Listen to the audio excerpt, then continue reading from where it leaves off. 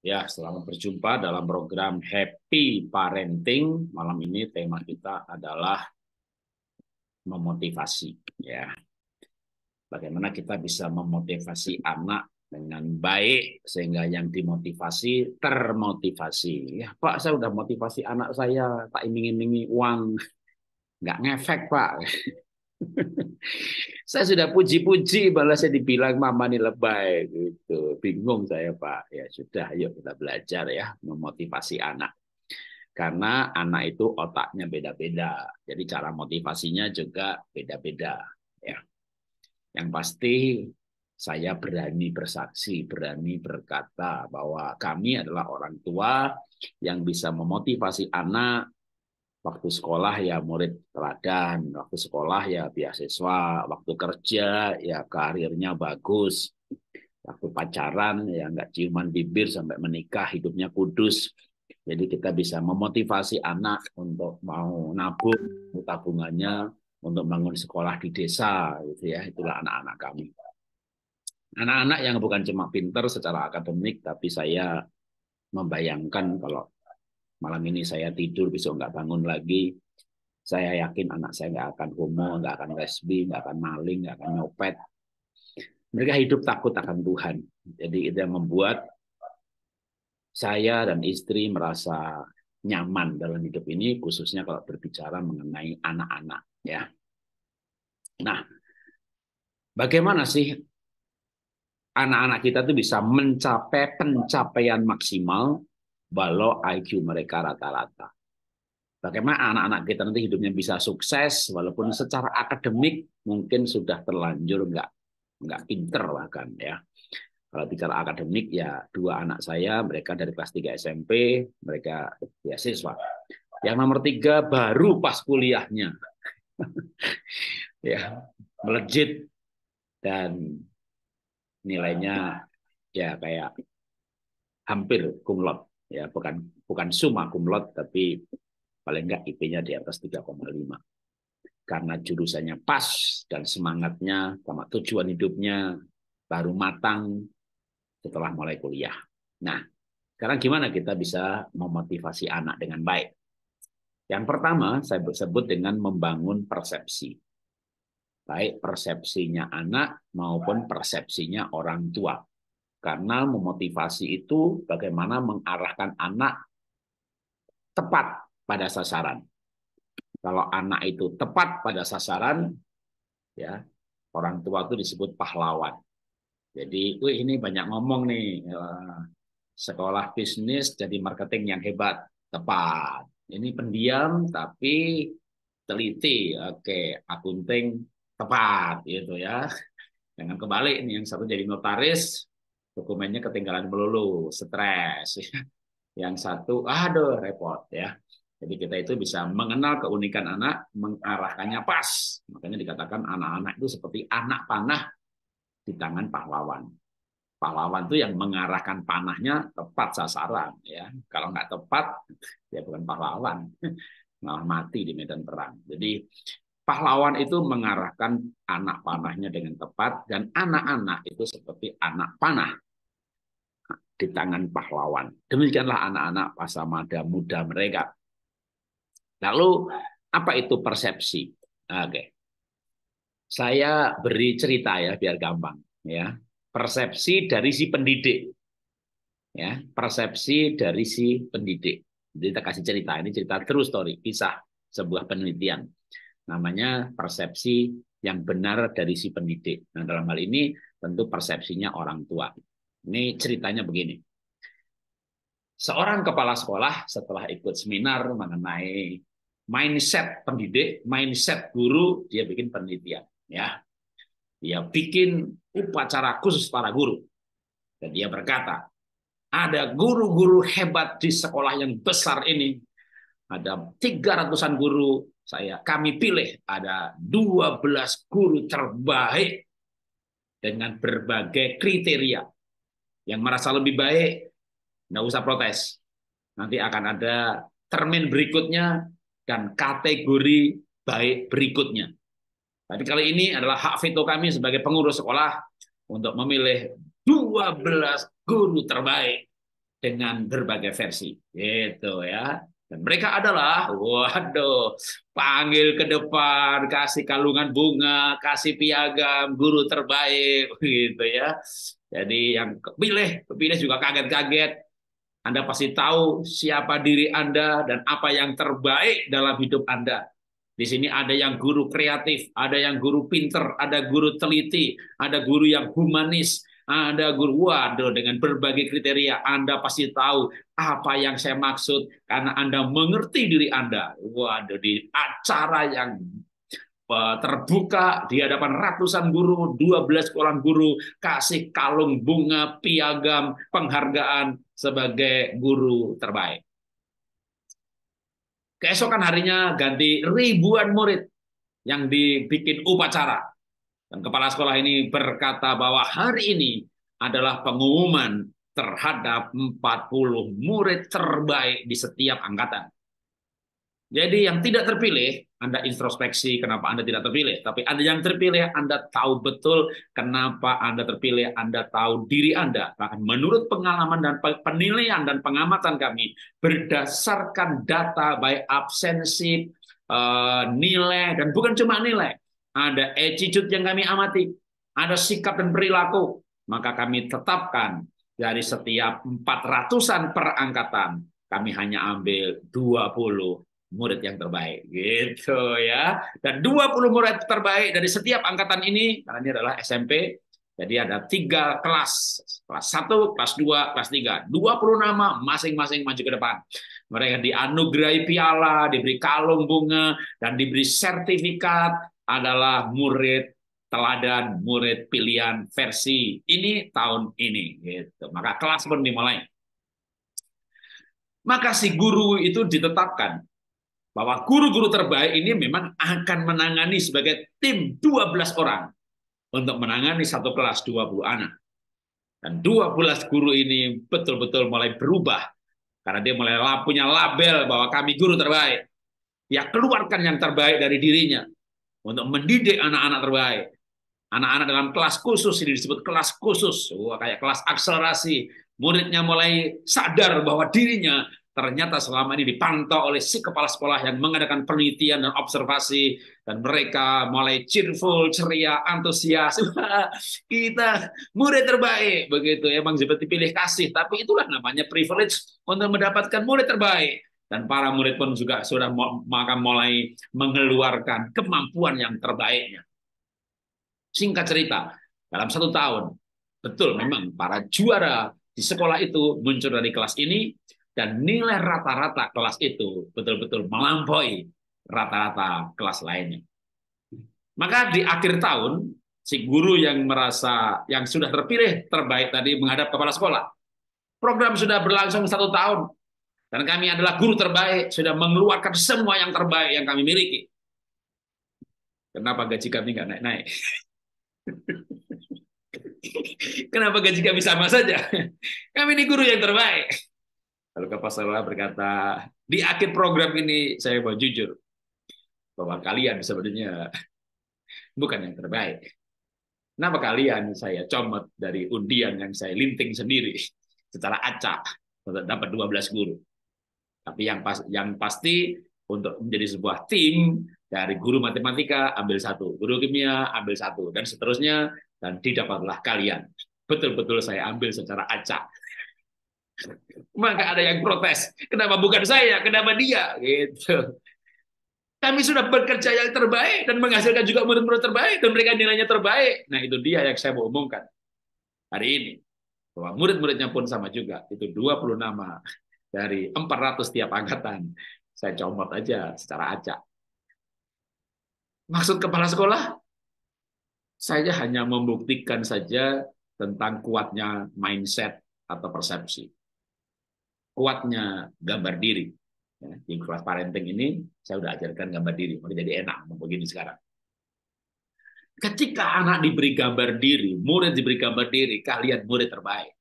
Si gurunya diberi gambar diri, kalian guru terbaik. Maka tiba-tiba semuanya mengeluarkan yang terbaik dari dirinya. Apalagi memang kayak drama. Waktu pemilihannya diadakan di sebuah acara yang resmi, lengkap dengan sertifikat, dan piagam penghargaan, di sebuah upacara. yang resmi. Jadi akhirnya si guru ini, jadi kami bukan guru yang terbaik. Enggak, makanya gak usah minta naik gaji. Tahun depan kami pilih guru yang lain. Tapi ini menyadarkan kita semua, para pendidik, yang ingin kami nanti sampaikan hasil ini kepada seluruh guru. Betapa pentingnya namanya gambar diri dan labeling. Bagaimana Anda melabel diri Anda sendiri, bagaimana orang lain melabel Anda. Ketika saya melabel Anda sebagai guru yang baik, Anda menjadi terbaik. Ketika saya melabel murid-murid mereka terbaik, mereka mengeluarkan yang terbaik. Kenapa kita tidak menjadikan ini sebuah pola untuk sekolah ini? Sebuah budaya untuk sekolah ini. Dan hari ini, saya masih tahu, itu sudah menjadi pola kami sejak anak-anak kami kecil. Saya bersyukur aja saya belajar hal seperti ini. Kalau Anda masuk ke YouTube, cari aja yang di-upload tahun 2008, 2009. Hal seperti ini pun ini ada yang sudah saya upload. Kalau Anda baca buku saya yang saya terbitkan tahun 2010, cerita ini sudah ada di dalamnya. Kalau Anda mungkin pernah beli buku inspirasi, maka cerita ini pun sudah ada dalam buku yang saya terbitkan tahun 2008, 2009. Malah lebih bawah lagi ya. Buku inspirasi itu, serial inspirasi itu yang saya terbitkan lebih awal lagi tahun 98. 99. Jadi cerita kuno banget. Kalau cerita ini kuno artinya tahun 98 anak saya baru berumur 6 tahun. Dan saya sudah mendapat pelajaran yang sekarang saya ajarkan kepada Anda jadi kalau anak saya sekarang hebat-hebat, itu karena saya belajar lebih awal. Itu yang saya sebut dengan persepsi kali ini ya. Ini sama dengan gambar diri anak dan gambar diri guru. Ayo kita mulai hari ini punya persepsi tentang saya orang tua hebat, saya orang tua baik. Ingat pelajaran saya sebelumnya, ayah baik, ibu baik. Jadi Anda boleh berkata, terima kasih Tuhan, saya mulai hari ini, mulai bulan ini, mulai sekarang adalah saya seorang ayah baik, saya bukan ayah kaya, saya bukan ayah yang pinter, saya ayah baik. Terima kasih Tuhan, saya belajar hal ini dan sekarang saya menjadi ibu baik. Kalau dulu, ya yang dulu saya lupakan. Yang pasti anak saya akan melihat saya berubah. Saya adalah ibu baik, ibu terbaik. Maka kalau teman-teman lihat ya Instagram saya yang lama sudah dihack ya. 2002 tahun lalu Instagram saya dihack, tapi Facebook enggak. Maka ada foto-foto waktu tahun paling tidak foto yang ada saya ingat tuh tahun 2009. Saya sekeluarga, saya dan istri, kami ada foto yang pakai tulisannya better apa the best mom in the world. Lalu saya pakai kaos the best father in the world. Bikin sendiri ngelabel sendiri, gambar sendiri, pernyataan diri, resolusi gitu ya. Jadi saya suka terus seperti itu membuat sebuah statement atau memperkatakan bahwa kita adalah orang baik dan akan betul-betul menjadi baik. Walaupun mungkin butuh proses, tapi kita butuh keberanian untuk menjadi sebuah menyatakan sebuah deklarasi. Nah, itu saya sebut dengan deklarasi dan persepsi. Ya nanti lebih dalam lagi ketika menjadi gambar diri, tapi kita sudah bahas mengenai gambar diri. Itulah kenapa kita harus memiliki gambar diri yang baik ya. Karena gambar diri akan mempengaruhi bagaimana kita membawakan diri. Dan ini kita sudah bahas dalam sesi sebelumnya ya. Nah sekarang dalam parenting ini apa nih? Orang tua itu harus punya gambar diri bahwa saya ini hamba Tuhan. Karena anak-anak itu miliknya Tuhan ya. Yang Islam juga berkata bahwa anak itu di depan Allah gitu ya. Jadi anak itu kan punya Tuhan kalau Tuhan nggak kasih ibu mana mana ibu hamil, walaupun bapak dan ibu berhubungan seks, maaf nih, bicara seks. Kalau Tuhan nggak kehendaki, anak nggak lahir loh. Jadi anak itu punya Tuhan. Kalau meninggal, ya kita pun punya, kita pun mati kan balik kepada Tuhan, bukan balik kepada orang tua. Nah kalau kita sadar bahwa anak itu milik Tuhan, artinya kita hamba-hamba Tuhan, hamba-hamba Allah yang diberi titipan untuk mengasuh anak-anak kita. Oke. Yang kedua adalah motivasi. Bagaimana kita memotivasi, mengarahkan anak tepat pada tujuan. Nah, tergantung nih, gimana cara memotivasinya? Saya mulai dari yang paling gampang kalau anak usia dini. Atau kalau anaknya kita sudah belajar kan kemarin waktu kita belajar gambar diri, oh anak itu ada yang sanguin, pragmatik, melankolik, kolerik gitu ya. Anak yang ada kita sudah belajar bahasa cinta juga sepertinya ya, saya ingat saya. Kalau anak sanguin ya biasanya bahasa cintanya misalnya kata pujian, ya Memuji itu sudah merupakan motivasi, memberikan imbalan. Nah, Tapi motivasi dengan memberi imbalan ini reward and punishment sebenarnya konsepnya adalah untuk 6 sampai 11 tahun. Boleh ya. 6 sampai 11 tahun. Bahkan sebelum 6 pun ya nggak apa-apa juga. Ya paling terlambat 6 sampai 11 di atas 11 tahun harusnya sudah nggak lagi reward and punishment. Apa itu? Kenapa tuh? Karena reward and punishment itu sesuatu yang di luar tubuh manusia dikasih hadiah apa kalau nilainya bagus dikasih 100 ya uang kan di luar tubuh manusia tapi ini efektif ya, apalagi kalau anaknya sanguin. Jadi kita bisa memotivasi dengan memberikan pujian ataupun penerimaan. Ini kenapa gambarnya begini ya. Coba kalau ibu atau anak, sama aja lah dua-duanya ya. Anak pakai baju cantik, pakai baju. Ya orang bilang kalau baju kayak tadi itu anak kecil kadang bilang waktu zaman anak saya kecil dulu ya, pakai baju pengantin, pakai baju malaikat gitu ya. Karena dia ulang tahun, dia pakai baju kayak malaikat gitu ya. Kadang yang nggak ada sayapnya nih, jadi edit gitu ya. Cuma baju putihnya aja kayak baju pengiring manten, baju malaikat gitu ya. Waktu pakai baju itu apa yang terjadi? Waduh, tantenya, iknya, temennya, tetangganya, gurunya semuanya bilang, "Wih, cantik banget, ini cantik banget." gitu ya. Acara ulang tahun sudah selesai, bajunya nggak mau dicopot. Nggak mau dicopot, nggak mau dicopot. Pas tidur baru dicopot. Begitu bangun, nangis dia. Kenapa mau dicopot? Kenapa dia nggak mau dicopot? Ya karena dia pakai baju itu dibilang cantik. Itulah kuasa pujian. Ibu punya baju nggak yang mahal? Waktu dipakai ada yang bilang, atau malah suami yang bilang, ah Nora ah nggak perlu nakal. Ya udah dipakai sekali, digantung nggak pernah dipakai lagi. Tapi kalau ibu pakai baju yang mungkin makainya tuh nggak enak karena ngepas seperti badannya kayak kejepit, pakai hak tinggi juga jalan susah. Tapi orang bilang, nih kamu cantik banget nih, keren loh. Kamu kamu eh, kamu di salon mana nih? Kamu dandan di mana sih? Menurut aku panggil sama kamu, kamu kayak artis. Waduh, itu jalannya boleh cincit susah. Ya, uh, badan kayak kejepit, tapi suami ngajak pulang belum mau pulang. Kenapa? Ibu masih ketemu sana, ketemu ini, ketemu itu. Itu belum lihat saya, gitu kan? Badan kayak kejepit, kaki udah sakit, nggak mau pulang. Kenapa? Karena dipuji orang. Begitu pulang sampai di mobil langsung copot sepatu. Pujian itu membuat orang tahan menderita. Ibu menderita, kakinya sakit, badan kejepit, nggak pengen pulang. Kenapa? Semua orang bilang cantik. Jadi pujian itu membuat orang tahan menderita. Waktu ibu anaknya belajar, bilang apa? tumben belajar. Ya elah bilang tumben. Kalau nggak belajar dimarahin, nggak apa-apa, ya kan? Nah, namanya reward and punishment. Biar anak tahu belajar itu penting. Nggak, nggak belajar dimarahin, nggak belajar dimarahin. Begitu belajar, tumben. Ya elah tumben. Sadis banget tuh. Anak bangun siang dimarahi. Begitu bangun pagi, ma aku udah bangun. Tumben. Ya tumben lagi. Anaknya ngompol dimarahi, ngompol dimarahi. Ma aku nggak ngompol. Tumben. Anda sadis. Anda sadis. Anda tidak berperasaan. Ketika orang dipuji, dibilang cantik, ibu dibilang cantik, badan kejepit, jalan susah pakai hak tinggi, pasti suka lagi di pesta, nggak mau pulang-pulang. Sampai semuanya udah kayaknya udah ketemu semuanya nih, baru bilang sama suami, iya pulang ya, suami udah nunggu dari tadi. Tahan amat bu, pakai baju kejepit sama tinggi, karena dipuji. Pujian membuat orang tahan menderita. Kenapa kita sebagai orang tua nggak memuji anak? Waktu dia bangun pagi, anak mama hebat, bisa bangun, keren dong. Ma aku nggak kompol, itu baru keren namanya, anak mama gitu loh. Itu puji dia. Itu sudah memotivasi untuk melakukan hal yang sama lagi.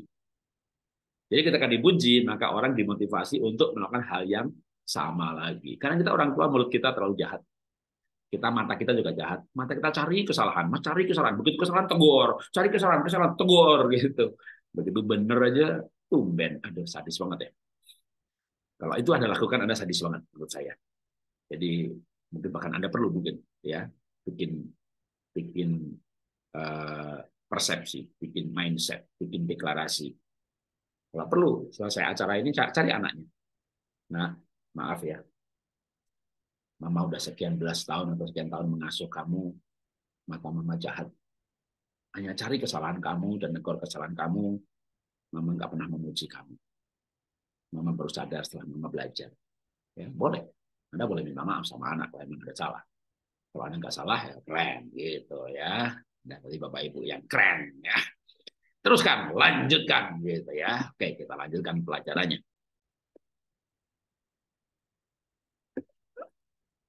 Mau uh, reward atau motivasi kita bisa memotivasi orang dengan memberikan imbalan. Imbalan itu bisa beri pujian kalau dia melakukan yang benar. Imbalan itu untuk memotivasi bisa juga berupa liburan. Kalau anaknya suka liburan, kalau kamu prestasinya bagus, kita liburan ke sini. Ayo, yang kamu begini, nah, anak-anak kalau kalian nih memakan nilai ya, kalau nilainya segini, kita liburannya ke sini. Kalau nilainya segini, liburannya ke sana. Ayo mau libur yang ke mana? Gitu ya. Kita bisa memberikan liburan. Atau kalau misalnya libur kan pasti sekeluarga. Maka yang bagaimana membedakan satu anak dengan yang lain gitu ya. Misalnya anaknya nih masih usia dini. Saya masih bicara anak usia dini. Kasih aja koin. Jadi anak apa pun yang kita inginkan. Kita mau ingin anak itu apa? Nyuci celana dalam sendiri? Ya, walaupun saya punya pembantu tiga. Celana dalam cuci masing-masing. Anda nggak pengen ngajar ini, ya terserah. Ya, ini kan tergantung nilai keluarga yang mau diajarkan. Seperti yang Bu Herianti ajarkan, nilai dalam keluarga. Anda mau ajarkan anak bersihin, merapikan kamar tidurnya, spraynya sendiri, saya punya pembantu, Pak. Saya tukang masak dua, tukang kebun dua, tiga anak, tiga suster. Ya, mungkin Anda nggak anggap itu nggak perlu dilakukan. Oke, apalagi yang mau diajarkan? Terserah, pokoknya Anda mau ngajarin apa? anak rajin belajar, nilai rata-rata 8 ke atas, atau 7 ke atas, atau 10 ke atas. Nah, siapa yang mencapai nilai itu, dikasih misalnya 10 koin. Yang nilai segini, 5 koin. Bedanya apa? Nanti pas pergi ke mall, oke, anak kecil ya, usia ini ya, main dingdong, main apa, oke, ini kamu 5 koin, minggu ini kamu 25 poin, kamu 30 poin, silakan bermain. Tidak ada sesuatu yang sia-sia, semuanya ada rewardnya. Jadi kita memberikan apresiasi kepada setiap apa yang anak lakukan. Anak tahu diberi apresiasi.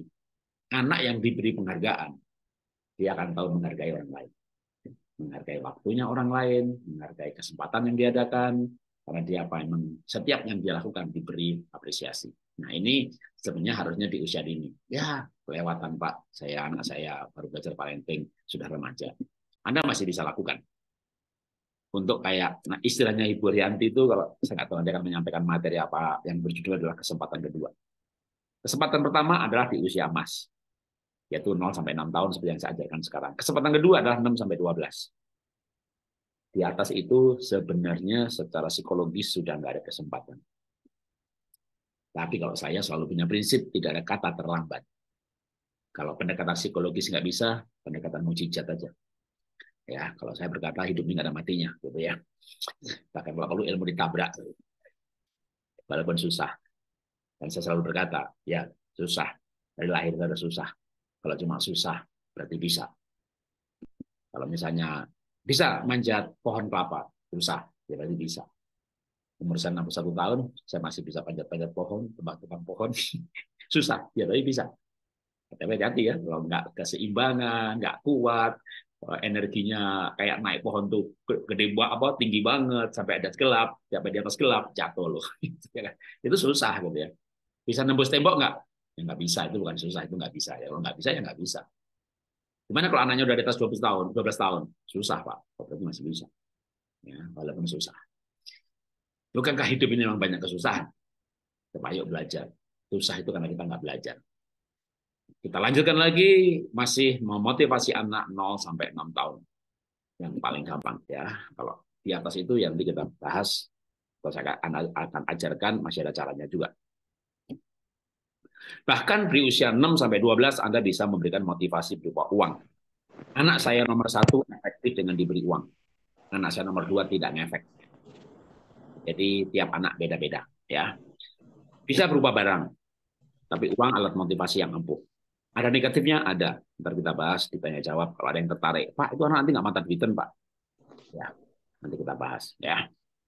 Bahkan bisa juga motivasi itu adalah kalau kamu ranking sekian, kalau kamu nilai rata-rata sekian, gadget time-nya ditambah, bukan dua jam, dua setengah. Nilai rata-rata segini, Anda boleh tiga jam, ya, dan seterusnya. Itulah yang saya lakukan sebenarnya waktu anak saya, ya, itu keep getting dipanggil nggak noleh, nggak ada kontak mata. Nilai 2,5, 3,0. Saya dipanggil gurunya waktu dia kelas eh, naik kelas 1, naik kelas 2 SD, dari kelas 1 naik kelas 2, naik bersyarat. Karena Bapak kelas 2 nggak bisa nulis, saya turunkan lagi kelas 1. Ya, saya pernah cerita mengenai anak nomor 2 yang secara akademik kelas 1 SD betul-betul parah. Tapi dalam enam tahun ranking satu. Tiga tahun, dua tahun kemudian berangkat ke eh, Singapura, ASEAN, scholarship. Bagaimana kami memotivasi? Ya dengan cara yang saya ajarkan ini. Saya mengajarkan apa yang saya hidupi. Maka kalau mengajar itu saya yakin, saya yakin, yakinnya. Kenapa? Hukumnya saya banyak belajar terus terang dari Bu Herianti mengenai hukum dan juga dari buku-buku yang saya pelajari baik itu Gerard Edelman, Ted Herman, dan Herman dan seterusnya. Anda baca buku saya, satu buku bisa ada 50 data pustaka, Anda bisa hitung sendiri kalau saya nulis 66 buku keluarga. Dari bukunya uh, James Dobson dan seterusnya. Tapi apa artinya semua ilmu atau hukum kalau kita nggak melakukan? Pasti yang namanya ngajari teori itu kita harus berkali-kali buka buka materinya dulu, dibuka lagi, jangan sampai salah, lupa. Saya Anda todong lima menit di muka untuk ceramah, bahkan nggak pakai PowerPoint pun saya ingat. Kenapa? Yang dilakukan itu kita nggak pernah lupa. Karena itu bukan ilmu, itu kehidupan. Ya, Oke, balik lagi ke sini. Jadi anak saya nomor dua, saya motivasi pakai apa? Bukan duit, dia nggak tertarik. Ini si nomor satu. Dengan pergi ke mall, ini si nomor tiga. Ya, ini juga si nomor tiga, si nomor dua anak saya ya dengan hobinya yaitu game menjadi motivasi. Ya. Jadi kesimpulan bagian dua. Orang tua bijak menjadi sahabat anak dan mengelola kesukaan mereka. Mereka sukanya game, jangan dimarahi. Berbahagialah kalau anak punya kesukaan. Anak nggak punya kesukaan tuh, susah motivasinya. Mau dimotivasi apa juga? Duit nggak tertarik, game nggak suka. Nah, loh, Pergi ke mall, ah di rumah aja deh. Ya ilah, no. mau dimotivasi apa? Berbahagialah kalau anak punya kesukaan. Itu kita bisa kendalikan sebagai alat motivasi. Ya, kita lanjutkan lagi. Bagaimana cara memotivasi? Cara memotivasi yang ketiga adalah memberikan impian. Nah, ini harusnya terutama untuk 12 tahun ke atas. Tapi dari umur tiga tahun pun bisa juga, usia dini juga bisa. Ya, tapi kalau di usia dini itu seperti reward and punishment. Ini katakanlah uang, katakanlah gadget, katakanlah diberi barang, materi, ya. Nanti dikasih boneka, nanti dikasih es krim.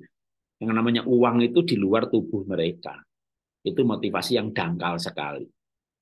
Walaupun uang itu sangat efektif ya. Suami pun dimotivasi uang sama perusahaan juga kerja kayak orang gila. Apalagi banyak orang-orang yang memang gila uang. Maka uang itu alat motivasi yang sangat ampuh bagi kalangan apa pun dan usia berapapun. Bahkan pendeta pun, ustadz pun bisa gara-gara uang ya akhirnya jadi hedon dan mamon. Jadi penyamun dan gereja menjadi sarang penyamun misalnya. Karena uang. Jadi uang itu alat motivasi yang ampuh. Tinggal siapa yang menggunakannya. Setan menggunakan manusia, menggunakan uang untuk menggoda manusia sehingga mereka meninggalkan keluarga, lupa keluarga, atau kita yang menggunakan uang untuk membuat anak-anak rajin belajar. Jadi uang itu nggak nggak jahat. Yang jahat adalah bagaimana sikap kita terhadap uang. Tapi yang namanya uang dikasih hadiah ke mall, dikasih materi, kalau ranking dibeliin sepeda, sepeda dan semuanya itu di luar tubuh manusia. Maka ada cara yang lebih efektif tapi susah susah menjadikan ini menjadi motivasi, tapi sekali kita berhasil memberikan impian, maka itu akan menjadi tujuan, menjadi motivasi yang dalam banget. Maka ada buku yang namanya Purpose Driven Life. Walaupun cukup menyedihkan ya. Yang nulis buku akhirnya hampir bercerai, dan si penulis buku sudah minta maaf sama istrinya. Dan menyedihkan juga bahwa anak si penulis buku Purpose Driven Life ini akhirnya mati bunuh diri dan itu pun setelah terbongkar bahwa ternyata terlibat dalam G. Jadi ada orang yang seperti saya, Pak ini buku bagus, saya udah baca. Cuma ya apa dia nggak ngajari anaknya mengenai purpose driven life ya sama bunuh diri. Tapi saya setuju dengan isi buku itu mengenai purpose driven life ya. Hidup yang digerakkan oleh tujuan.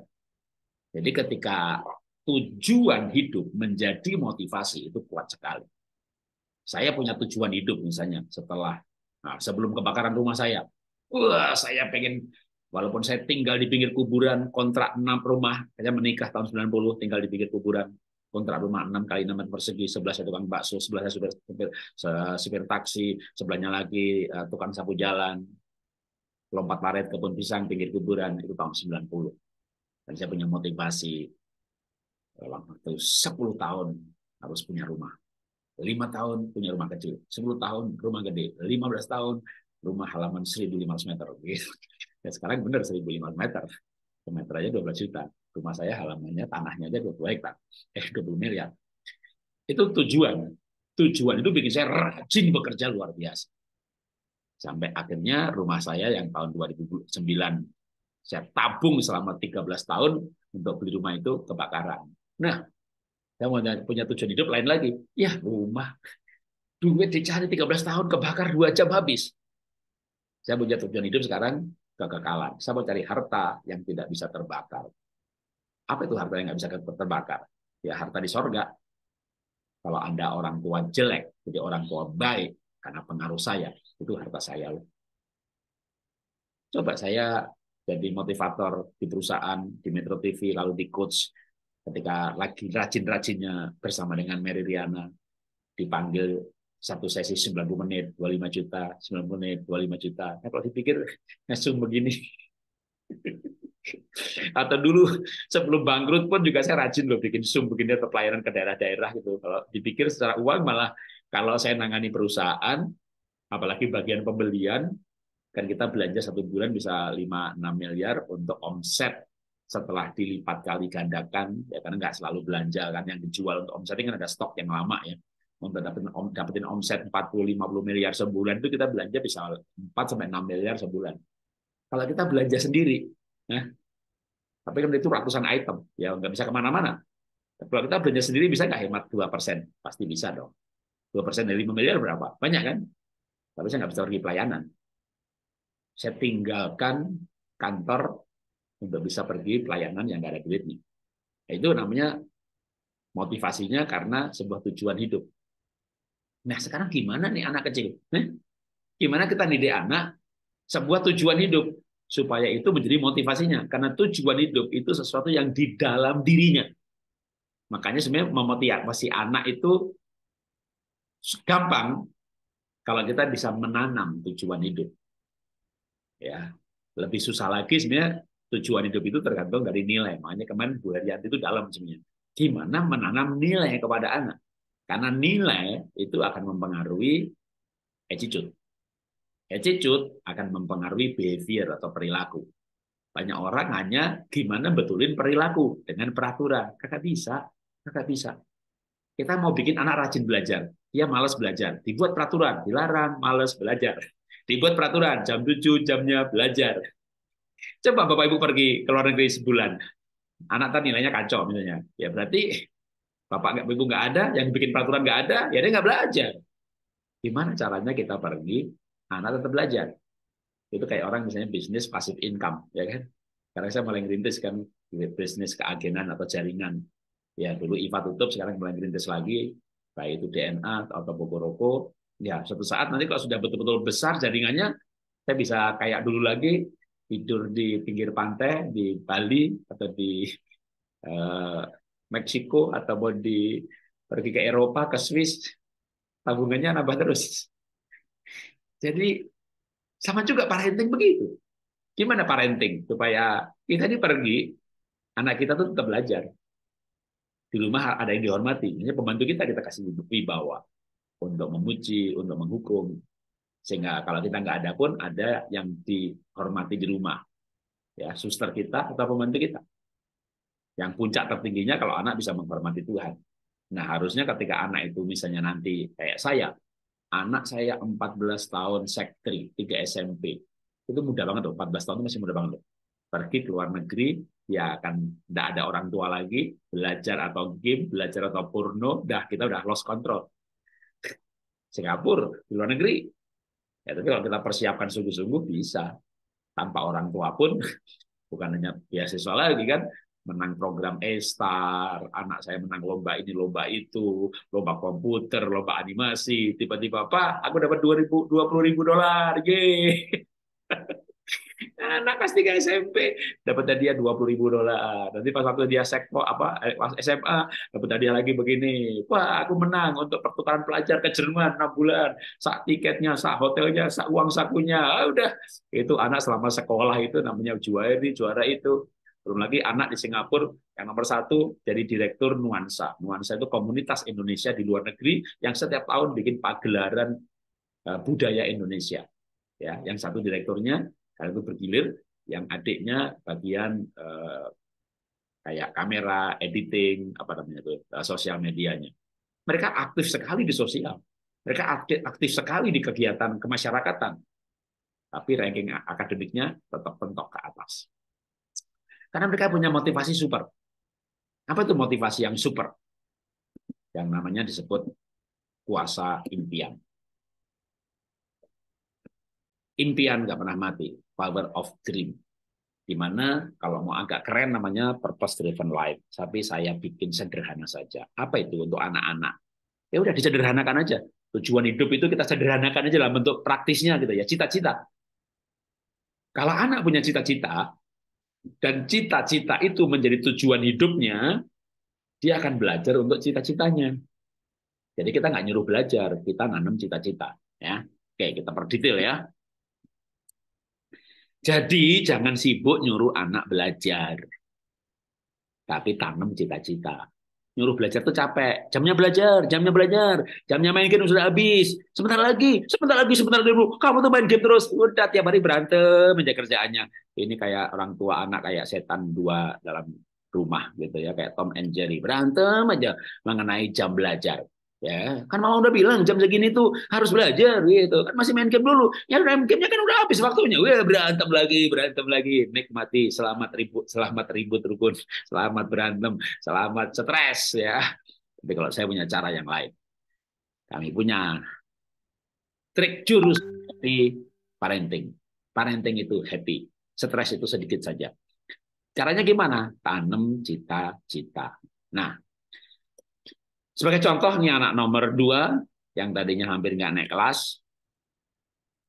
Bagaimana kami memotivasi dia ya ketika dia kelas 2 SMP, dia sudah menang ASEAN Scholarship, padahal yang lainnya itu kelas 3 SMP. Jadi ASEAN Scholarship itu untuk kelas 3 SMP, tapi dia bertanding di Jakarta ini dengan para kelas 3 SMP ketika dia kelas 2 dan dia masuk empat besar terbaik, dan dia berangkat untuk ASEAN Scholarship. Setelah empat tahun di Singapura, dia punya nilai nilai rata-rata juga terbaik, yaitu 98,6. Ya. Dan akhirnya dia memilih di NUS untuk ambil kuliah di sana dan selesai dalam tiga setengah tahun. Ya. Oke, saya cerita dulu soal cita-cita ini.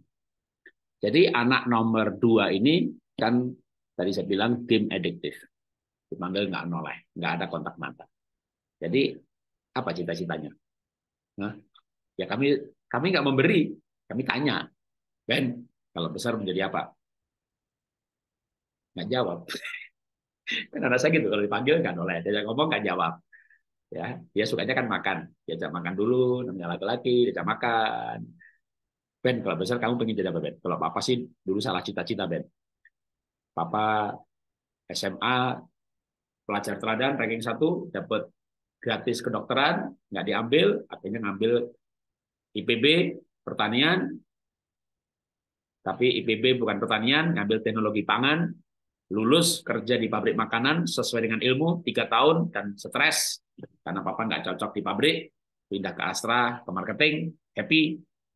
Jadi nanti juga ada program. Kalau dulu saya kalau coach untuk para karyawan, ya kita namanya bagaimana kerja bahagia menikah menikah bahagia, parenting parenting bahagia, happy marriage, happy parenting, dan happy life. Happy life itu kalau nggak salah pekerjaan. Kalau salah jurusan masih nggak masalah. Salah jurusan ngambil dokter, tapi kerjaannya jangan praktek dokter, jual obat aja, jiwanya marketing. Dan sebagai lulusan kedokteran pasti jual obat lebih hebat. Tapi jangan praktek dokter kalau memang jiwanya bukan jiwa seorang dokter yang praktek, yang praktek tapi ilmu kedokterannya dipakai untuk bisnis alat-alat kesehatan misalnya ya. Itu kan nggak salah pekerjaan. Orang yang salah pekerjaan ya stres. Stres di pekerjaan sampai rumah tinggal stres. Akhirnya parentingnya parenting stres ya. Oke kita balik ke anak dulu lagi. Jadi waktu anak saya saya tanya cita-cita jawabnya susah banget. Pendekatan kita makan segala macam. Akhirnya dia aku pengen jadi gamer pak anak itu dipanggil nggak noleh, nggak ada kontak mata, hampir nggak naik kelas karena dia game addicted. Lalu cita-citanya pengen jadi gamer. Saya kaget, tapi saya pintar sandiwara, pintar main drama maksudnya. Saya, saya sembunyikan kekagetan saya. Oh ya, kenapa pengen jadi gamer? Kan keren pak, gitu. Oke keren. Apa lagi? Ya kan seneng Pak. Memang anak kan pengennya hidup ini, apalagi milenial, maunya seneng kan? Ya kan seneng. Hidup sekali ngapain susah. Oh, Oke, okay. jadi keren sama seneng. Oke, okay. ya. Saya walaupun kaget, tapi hari itu saya googling mengenai penghasilan seorang gamer. Ya tahun, uh, itu anak lahir tahun nomor satu lahir 92, nomor dua lahir 95. Berarti kalau tambah 7 tahun itu 2002, 2003. Waktu itu saja gamer itu penghasilannya bisa seminggu itu 45 miliar loh. Tinggi sekali. Ya, ya yang nggak usah yang nggak usah kelas dunia lah. Ya kelas nasional lah. Yang tapi ya dia bisa bertanding ke dunia. Wih, seminggu atau kalau ngomong sebulan aja kalau seminggu 45 miliar yang sebulan aja dah bukan 40 50 miliar ya yang semiliar banyak banget kaget juga saya akhirnya saya bilang sama anak saya Ben Papa setuju Ben kamu jadi gamer. Itu anak saya kaget tuh. Dia hampir nggak naik kelas gara-gara game sekarang punya cita-cita jadi gamer disetujui. Gitu ya. Akhirnya saya setuju. Eh Ben kita bikin jadi saya itu dulu anak itu ada papan tulis ya. Itu papan kehidupan namanya. Di situ ada target, cita-cita, impian. Kayak dulu waktu saya jadi sales, kan saya diajarin mau apa? Mau rumah? Bikin kolase. Tempel rumah. Mau mobil? Tempel mobil. Mau nggak keluar negeri? Tempel luar negeri. Mau mau. Begitu nggak mau kenapa kamu nggak mau? Wah begitu kan oleh oleh di outbound para sales gitu kan. Makanya dulu saya itu kerjaan saya melatih para sales. Kalau enggak gimana bisa punya uh, anggota MLM 500 ribu ya. Dan punya stokis di 200 kabupaten. Kalau kita nggak pandai memotivasi orang untuk menjadi sales terbaik. Saya pernah diundang BCA, saya pernah diundang Suzuki, saya pernah diundang pabrik susu untuk para salesnya dengan target adalah omset dua kali lipat gitu ya. Kalau saya tanya omset sekarang berapa? Ya sebulan 10 miliar. Harapannya ya sebulan 2, 2 miliar. Berarti nggak salah dong kalau saya minta fee untuk training sehari 100 juta. Ya, dan saya laku untuk bikin training sehari ya Mau 6 sesi, mau 4 sesi, sesinya boleh tawar tambah sesi. Bahkan mau dua hari nggak apa-apa, tapi 100 jutanya jangan ditawar gitu ya. Dan saya banyak mengajar untuk para sales untuk bagaimana kejar omset dua tiga kali lipat. Gitu ya. Caranya gimana? Jadi motivasi. Motivasi apa? Kasih impian kan. Nah waktu saya saya sendiri dulu ikut kayak begitu begituan. Maka saya jadi sales terbaik, sales terbaik di Asta kan beberapa kali lalu buka perusahaan, akhirnya punya omset terbaik. Ya singkat cerita bisa growing dari masuk Jakarta tahun 90 hanya punya rumah bedeng, lalu punya gudang di Parung 4 hektar, punya kantor di BSD halamannya satu hektar, kan gitu ya. Artinya motivasinya kuat dengan reward. Nah sekarang anak, kembali lagi tadi maka dari reward. Tapi yang lebih kuat lagi adalah tujuan hidup, impian. Saya punya impian, punya usaha sendiri. Waktu kerja semangatnya luar biasa. Kenapa? Ya kalau enggak gimana mbak ngumpulin modal kan gitu kan? Wah saya harus mengembangkan diri nih. Kalau enggak gimana mau buka perusahaan? Kalau enggak ya cukup jadi marketing top aja. Tapi untuk buka perusahaan harus ngerti accounting, ngerti sistem, ngerti ini, ngerti itu. Wah belajar kayak orang gila gitu kan. Mau masih muda. Kenapa rajin belajar? Karena punya impian. Jadi impian itu akan mendorong seseorang untuk aktif. Nah, sama juga anak. Jadi anak saya impiannya apa? mau jadi gamer. Saya setujui. Bikin papan, papan kehidupan. Jadi gamer gitu. Tambah band, gamer internasional gitu. Jadi saya jadi kalau ngobrol sekarang itu jadi bahan pembicaraan. Kok nggak belajar hari ini? Ya, rajin belajar dong biar jadi game internasional kan gitu kan. Ya belajar main game, Pak. kan mau jadi gamer, belajarnya main game gitu. Ya, nggak apa-apa lah gitu. Tapi kita akhirnya kita arahkan, Ben. Biar kamu jadi gamer yang hebat, Ben. Kamu les bahasa Inggris. Buat apa, Pak? Lah, kalau kamu nggak bisa bahasa Inggris, nanti kamu main game lawan tanding orang Ciledug, Cikeas, Cirebon, ya kagak ada duitnya, Ben. Kamu lawan tanding harus orang Eropa, Amerika, Australia, les bahasa Inggris. Ya, les bahasa Inggris demi jadi gamer yang hebat. Tak komporin lagi, Ben, les matematika, Ben. Kalau kamu logikanya kuat, analisa kuat, kamu gamenya pasti kuat. Itu pasti. Kamu les matematika.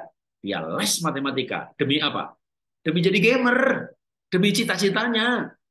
Jadi jangan begini, kamu belajar ya, kalau nilainya bagus, nanti papa bangga punya anak kamu. Ngomong berkali-kali, akhirnya anak, oh aku ini sekolah buat kebanggaan orang tua. Kapan aku hidup pada diriku sendiri? Tanam cita-cita. Setelah tanam cita-cita, kita atur. Ya, Ben, les matematika. Dia les matematika demi seorang gamer, gitu ya. Singkat cerita, berdasarkan ilmu multiple intelligence, kalau ada dua kecerdasan ditarik, maka yang lain akan ngangkat. Ya, kita udah belajar multiple intelligence belum ya? Jadi multiple intelligence itu gampangnya begini teorinya Habibie. Kalau ini adalah kecerdasan yang kita taruh ini otaknya otak ya. Ada delapan titik kecerdasan. Lalu kita angkat dua titik naik gitu ya. Yang lain akan terbawa juga naik ke atas cukup banyak. Jadi ketika anak saya les bahasa Inggris, bahasa otak kanan, bahasa matematika otak kiri, dua bagian otaknya saya angkat ke atas. Lalu kita komporin lagi ya. Pas bahasa Inggris sudah matematika sudah. Ben kalau kamu mau jadi gamer yang hebat serius Ben. Papa dukung kamu jadi gamer. Tapi ingat ya game sebagai pekerjaan ya. Bukan hobi lo ya hobi itu nggak bisa duit. Pekerjaan tuh papa kerja.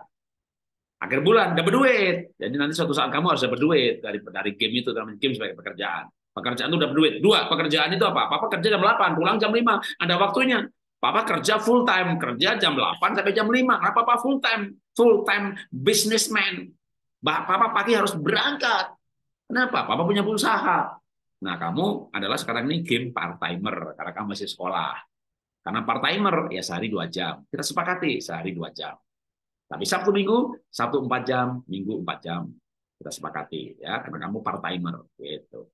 Kita komporin lagi. Ini nggak nggak nggak cepet ya, enam tahun ya, membawa anak saya dari game adiktif yang hampir nggak naik kelas menjadi ranking satu. Dimotivasi. Dimotivasi apa? Cita-cita, tujuan hidup. Ben, serius loh, papa tuh dukung kamu jadi gamer beneran loh Ben. Ya, gue ini bulan demi bulan, minggu demi minggu, gamer, gamer terbaik, gamer terbaik. Aku gamer terbaik dunia. Bahasa Inggris oke, okay. matematika oke, okay. Ben. Mau jadi gamer yang terbaik, serius ya Ben ya. Papa arahkan kamu kamu ngambil kuliah nanti di MIT Amerika. Di MIT ada jurus ada jurusan game maker atau mau ke Jepang juga boleh terserah. Tapi kamu kamu kamu seorang game maker. Kamu ngerti engine, ngerti mesinnya game. Gimana kamu nggak jadi game terhebat? Oh, kamu yang bikin gamenya. Kalau kamu bisa bikin game, kamu main game orang lain pun yang dibuat orang lain, kamu tahu triknya. Wah, dia kayak kinclong gitu matanya. Oke, dia tulis di papan. Jadi semua yang diinginkan itu ditulis di, ditulis di papan kehidupan. Setiap anak punya papan kehidupan. Ya. Jadi sekolah MIT Amerika gitu. Begitu dia tulis, itu berarti masuk ke dalamnya. Ya, tulis, repetisi. Saya nyebutnya berulang-ulang. Ayo masuk ke alam bawah sadar itu repetisi berulang-ulang oleh pihak otoritas diucapkan dengan yakin atau nada tinggi kalau nada tinggi, nada pelan tapi yakin. Kamu bisa, Ben. Game terbaik di dunia. Gimana nggak bisa?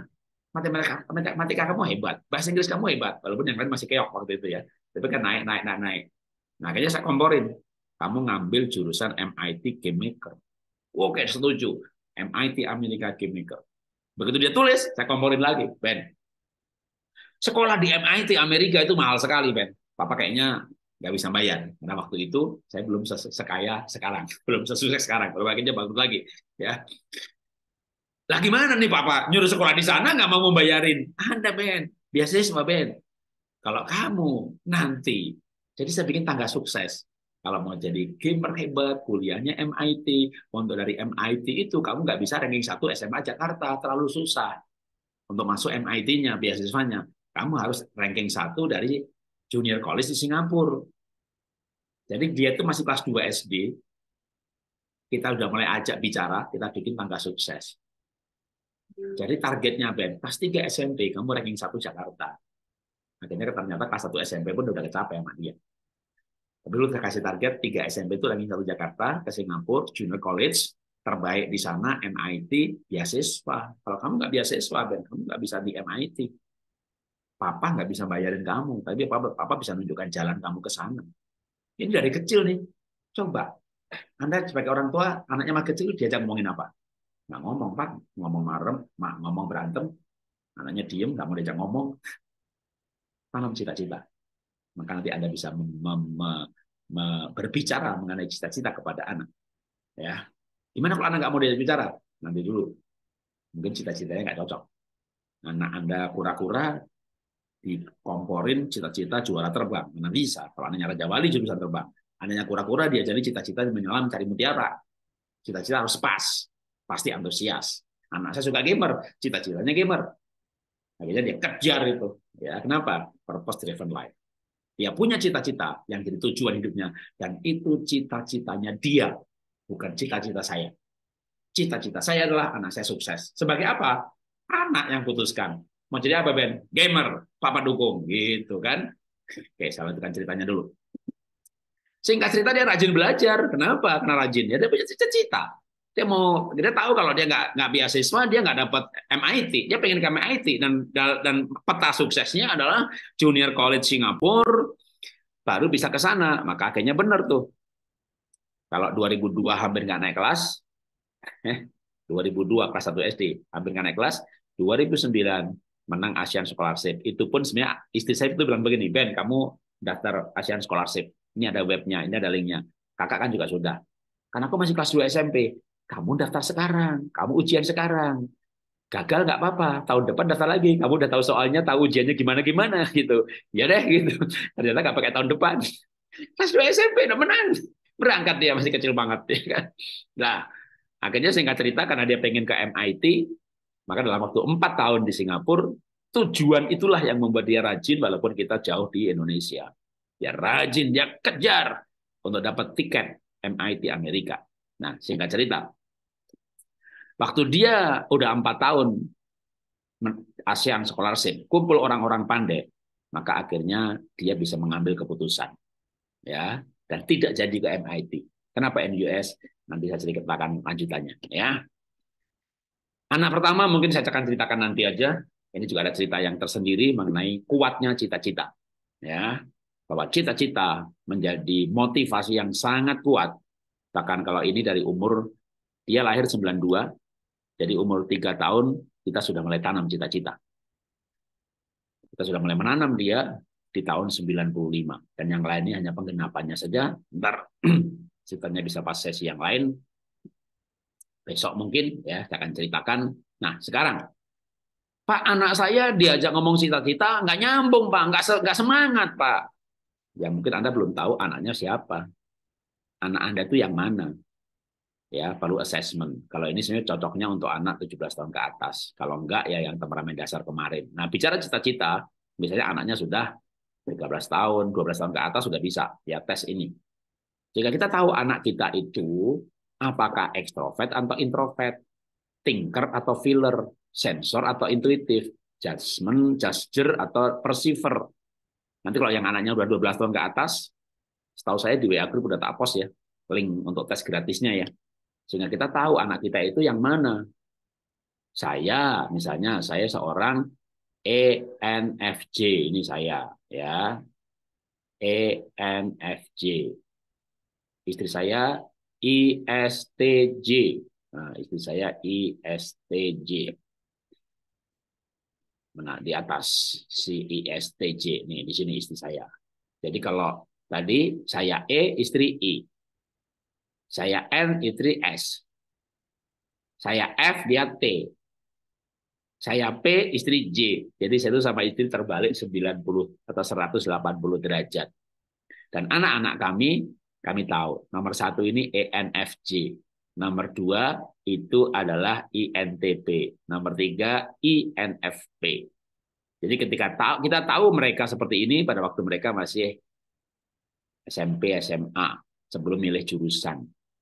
Karena kita tahu siapa mereka, kita bisa berbicara karena tiap-tiap pribadi seperti ini cocoknya jadi apa itu berbeda-beda. Mungkin saya kasih share screen-nya yang saya bisa gede ini. Jadi anak itu nggak semangat Pak diajak cita-cita. Lah Anda kura-kura diajak cita-cita nak jadi penerbang nak. Bayangin aja mau pusing. Ya mana tertarik. Salah cita-cita yang dibicarakan. Ya. Kalau orangnya misalnya, wah ini enggak toleran. Dia ESFJ, diajak ngomong jadi guru pasti semangat. Kalau dia orangnya ENFP, diajak ngomong mengenai uh, menjadi marketing pasti semangat. Dia orangnya ENFJ, diajak ngomong soal konsultan. Ini kan anak nomor satu. Ya, kita kita kita dorong jadi konsultan. Dan benar akhirnya jadi konsultan, jadi konsultan bisnis.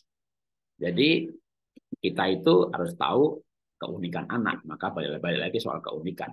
Ya, kita masih banyak di sini pelajarannya. Ya, mak sayang dari 40 orang yang bayar yang login cuma 13. Ya mudah-mudahan mereka dengerin rekamannya ya. Karena sih cukup banyak hal yang penting yang kita sampaikan. Kayak memotivasi anak, tapi seberapa dalam motivasinya? Semua orang tua juga motivasi, tapi anaknya nggak ngefek.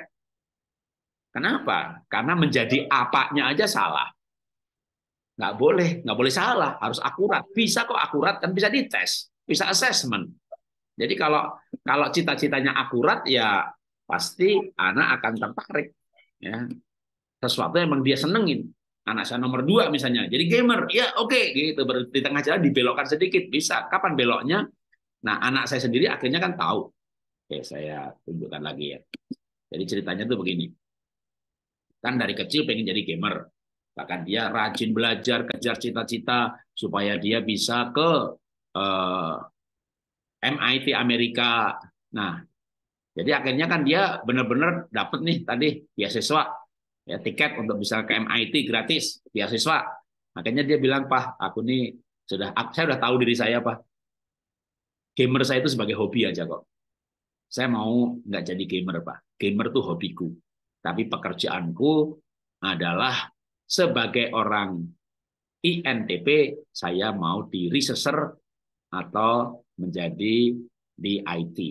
Nah, itu karena dia setelah tes ya dia tahu siapa dirinya adalah si INTP. Maka dia ambil jurusan sesuai dengan kepribadiannya dan kerja sebagai si peneliti, si perancang, dapat kerja empat tahun, karirnya bagus, gajinya bagus, akhirnya dia hanya tetap bidang yang sama R&D tapi di IT sekarang ini. Ya. Dia kerja sesuai dengan bidangnya maka bahagia. Nomor satu kerja sesuai dengan kepribadiannya maka dia juga bahagia.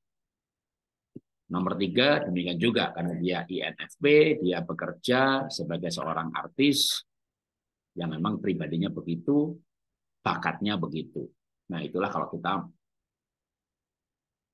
punya anak, kita tahu anak kita itu yang mana dia itu anak yang mana? Nomor satu INTJ, nomor tiga EFSJ, nomor empat ENTP, nomor lima berapa lagi? Punya anak sepuluh, jangan-jangan sepuluh macam juga. Dan sepuluh macam cita-cita yang berbeda. Masing-masing sesuai dengan dirinya. Pasti antusias. Jadi, anak saya bilang nggak tahu pak mau jadi apa dia belum tahu dirinya maka tugas orang tua itu membawa anak mengenali aku ini siapa ketika orang mengenali dirinya siapa aspek demi aspek dibuka Bahkan jangan-jangan bapak ibu pun nggak tahu aku ini siapa ya. Bapaknya salah jurusan, ibunya salah jurusan, bapaknya salah parenting, ibunya salah parenting, kesalahannya diwariskan generasi demi generasi. Maka generasi demi generasi salah pekerjaan, kerja stres, menikah stres, udah hidupnya stres. Stop menurut saya. Stop. Stop. Saatnya kita hidup dengan lebih baik. Dengan mengenal diri sendiri, mengenal anak-anak, membawa anak-anak pada pengenalan dirinya, membawa anak-anak pada cita-citanya yang pas, membawa anak-anak pada pekerjaannya yang pas, dan mereka hidup lebih bahagia daripada kita, punya pencapaian lebih baik. Awalnya dari mana nih?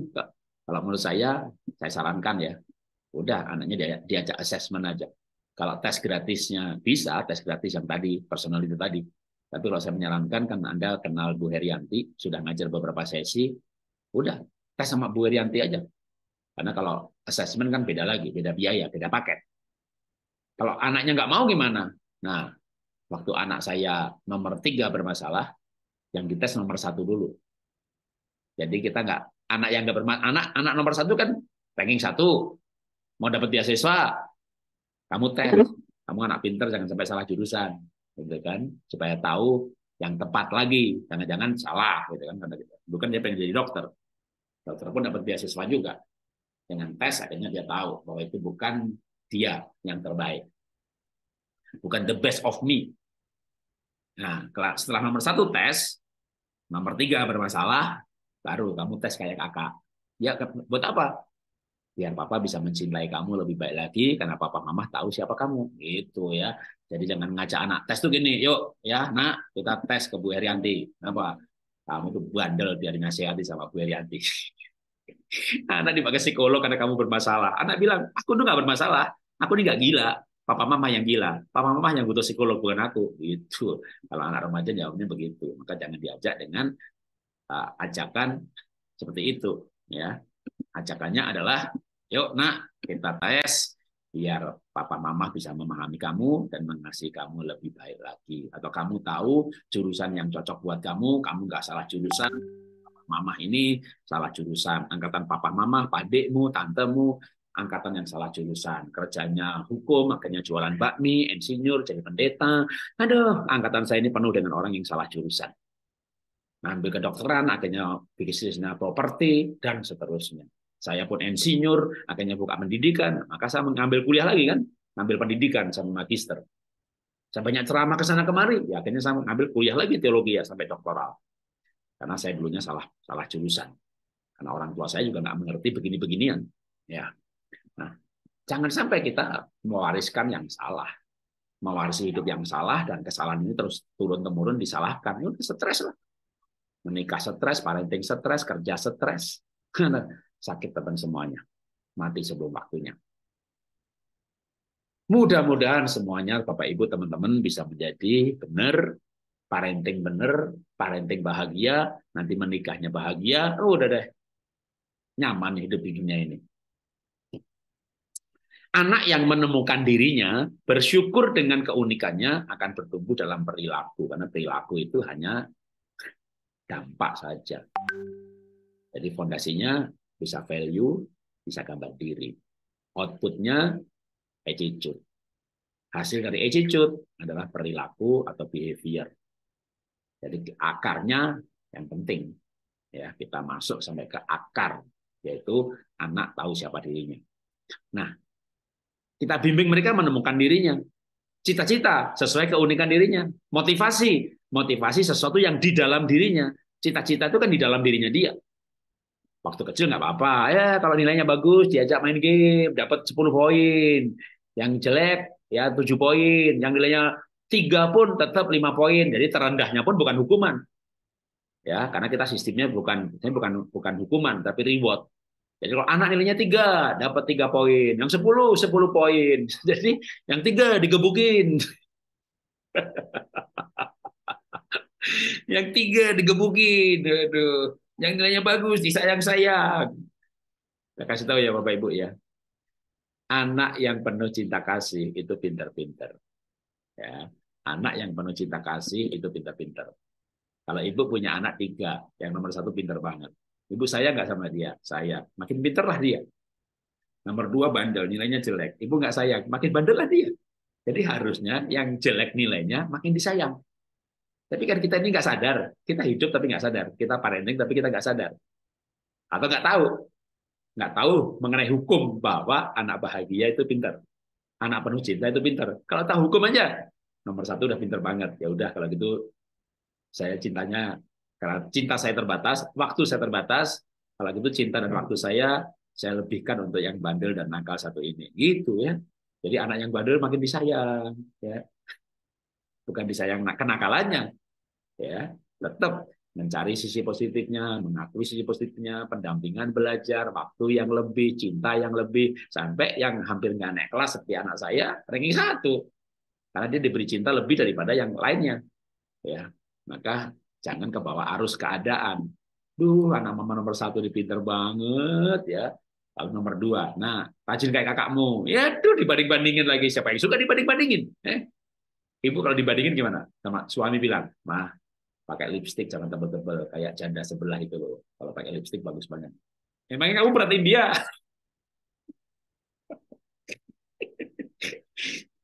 Gak usah sama janda sebelah deh. Mah, kalau kamu masak begini pakai kecap. Mamahku itu kalau masak begini pakai kecap. Mamahku gitu. Ya udah makan di rumah mamamu sana. Ngapain makan di sini? Gitu ya. Siapa suka dibandingin? Jadi anak juga nggak suka dibandingkan. Adik nggak suka dibandingkan sama kakaknya bilang saja kamu rajin, kamu pinter. Kamu kamu tuh pinter loh. Cuma kurang rajin aja. Kalau kamu tahu rajin pasti pinter kamu keluar. Oh, kamu pinter. Nggak usah kayak kakak, nggak usah. Ya, nggak usah. Itu kalimat yang salah. Itu parenting yang salah. Motivasi yang baik, yang benar adalah cukup pada dirinya anak tanpa dibandingkan. Kadang sulit menyuruh anak belajar, namun saat anak memiliki impian, mereka akan mengejarnya impian itu dengan belajar. Maka orang tua yang bijak memberikan impian sesuai keunikan anak. Ya. Oke, kayaknya udah habis. Terakhir, ya motivasi yang ini saya cepat karena ini sudah diajarkan oleh Ibu Herianti. Motivasi yang kuat adalah sesuatu yang di dalam dirinya. Dan di dalam diri itu misalnya nilai hidup. Gimana nilai hidup kita tanamkan? Nilai hidup tentang uang, nilai hidup tentang kepandaian, tentang apa pun juga. Nilai hidup juga pasti akan bertujuan berhubungan dengan tujuan hidup. Makanya anak-anak kami bawa ke pedalaman untuk pergi ke daerah, untuk buka sekolah di pedalaman, dan untuk mengunjungi sekolah di pedalaman dan desa yang nggak nggak punya sekolah. Kita pergi liburan, liburan kita kita nggak pakai untuk ya kadang-kadang kita ke Amerika, kita ke Swiss, kita ke eh, apa namanya ke Eropa, ke Tasmania, tapi juga kadang kita bawa ke pedalaman sampai nyebrang sungai. Untuk ngapain gitu ya, nyebrang pulau, jalan kaki berkilo-kilo, ya hanya untuk berbuat baik. Untuk bangun sekolah di pedalaman, kita udah bangun 32 sekolah di pedalaman. Tiap tahun dua sekolah, dua sekolah, dua sekolah. Belum biaya operasionalnya ya setahun satu m lah habis gitu ya. Tapi anak akhirnya menjadi punya nilai hidup. Duit itu buat apa? Sukses itu buat apa? Punya tabungan itu buat apa? Sehingga ketika saya bangkrut, anak-anak inilah yang melanjutkan bangun sekolah di pedalaman. Jadi waktu saya bangkrut, sekolah di pedalaman jalan terus. Operasional jalan terus. Bangun tiap tahun jalan terus. Kenapa? Karena anak-anak sudah mewarisi nilai hidup. Jadi nilai hidup itu akan menjadi motivasi yang terkuat, yang kuat sekali kalau bukan yang terkuat, yang terkuat kan dari Tuhan. Tapi nilai kehidupan, nilai hidup itu sesuatu yang di dalam diri si anak. Kita mati, nilai hidup itu sudah tertanam di anak. Maka ketika nilai-nilai hidup itu menjadi motivasinya, kita mati pun anak akan sampai di sukses. Syukur ya, syukur. Kalau saya bisanya bisa hidup 120 tahun, Ya, bayangin kalau saya hidup 120 tahun, anaknya umurnya 80, mati bareng. Jadi nilai hidup itu akan terus berkobar. Ini motivasi yang nggak ada habisnya. Tapi boleh ya tadi kayak di ya ini habis ya kayak di awal-awal tadi anaknya masih kecil kalau kamu ranking dibawa ke mall kalau kamu nilainya bagus ya.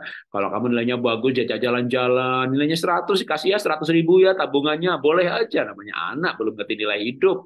Ya kita pak ikutin aja kalau kamu nilainya bagus nih rata-rata main gamenya tambah ya tiga jam sehari itu nggak apa-apa itu motivasi yang di luar tubuh manusia belum di dalam tubuh tapi kita bisa gunakan.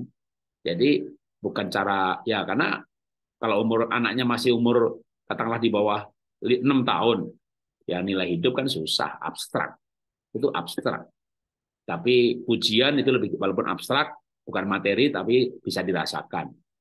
Ya apalagi betul ke mall dapat koin 10 lu kok adik kok adik kakak 20 biji koinnya? Lah kan kakak nilainya bagus. Lah adik nilainya jelek tapi dia bantu ngerapiin kamar. Semua bagian dapat koin gitu ya. Ini sebenarnya ilmu ibu saya tuh. Semua bagian dapat koin. Semua bagian dapat ada ada apresiasi. Apa pun yang kamu lakukan ada harganya. Dihargai. Nggak diabaikan. Karena kita orang tua yang penuh perhatian kepada hal-hal yang baik. Nah, jadi maka apresiasi itu bentuknya bisa menjadi motivasi. Anak yang tidak pernah diapresiasi ya tidak termotivasi. Ini ketahuan kalau anak itu nggak punya inisiatif, nggak punya motivasi. Saya tanya, Bapak Ibu pernah memberikan apresiasi nggak? Atau hanya negor, negor, negor, negor, menghukum negor, menghukum negor, kamu salah, kamu salah. Benernya gimana? Benernya gimana? Gitu, ya. Jadi anak kadang kita teriak. Lalu benernya itu gimana? Ini nggak boleh, ini nggak boleh. Yang boleh itu gimana? Jadi kita perlu belajar. Oke, sekarang kita ada cukup panjang ya. Kita break sebentar untuk setelah itu tanya jawab. Saya stop.